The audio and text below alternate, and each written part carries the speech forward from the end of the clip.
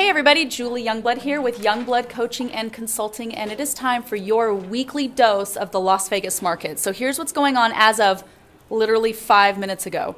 There are currently 7,379 single family residential homes on the market today.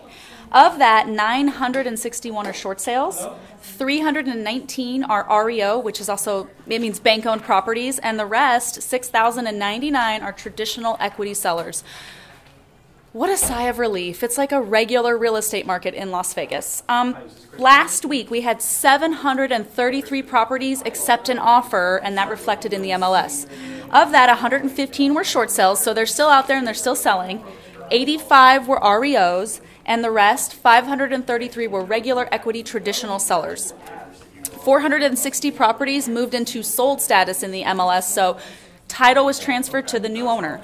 Of that, 53 were short sales, 50 of those were bank owned REOs, and the rest, 357, were regular traditional sellers. Now, for all of my Las Vegas agents who are out there actively calling expireds, last week there were 194 properties that failed to sell in the MLS. They're back, well, some of them are back on the market, and the rest of them are waiting for you to get the right script via me and get on the phone and get those people back on the market. They were moving for a reason. They just need the right agent to help them make the right decision. As always, if you have any questions on the market stats or if you just need some help getting your business to the next level, give me a call. My number is 702 234 8181, and my website is julieyoungblood.com. I hope you guys have a great week.